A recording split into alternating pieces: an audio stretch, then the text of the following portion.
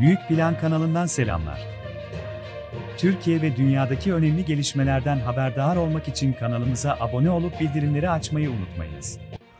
Azerbaycan Savunma Bakanlığı basın servisi bu yılın Temmuz ayında Birleştik 2024 askeri tatbikatına Kazakistan'ın ev sahipliği yapacağını duyurdu.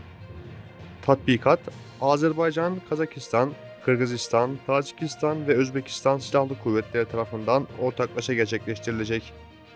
Uzmanlar bu tatbikatın periyodik olarak gündeme getirilen Turan ordusu konusunu tazelemek için uygun bir fırsat olarak görüyor. Turan ordusu Türk dili konuşan ülkelerden oluşan varsayımsal bir askeri bloğu işaret ediyor. Turan ordusu fikri son yıllarda ortaya çıkan küresel ve jeopolitik türbülans bağlamında giderek önem kazanıyor. Asgari analistlerin çoğu Azerbaycan'ı Türkiye'nin Güney Kafkasya'daki vekili olarak görüyor. Diğer yandan Bakü'nün Türk devletlerinin başkentleriyle yakınlaşması, Ankara'nın birleşik bir kültürel ve ekonomik alan yaratma konusundaki çabalarıyla da örtüşen bir kimlik arz ediyor.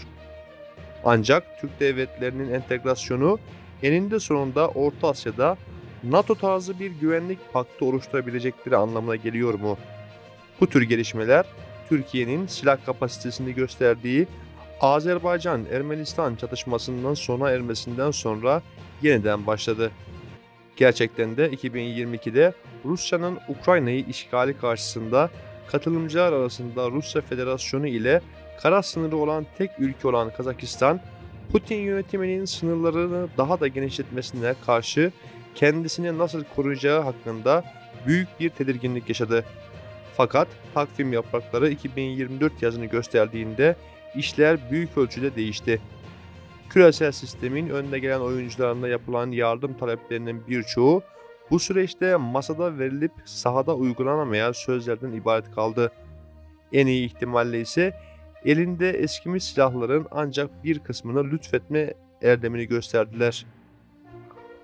Turan ordusu hayali Orta Asya'daki çoğu Türk için silah ticareti dışında bir şey ifade etmiyor. Burada tarafsızlığını ilan eden Türkmenistan'a hariç tutmak gerekiyor.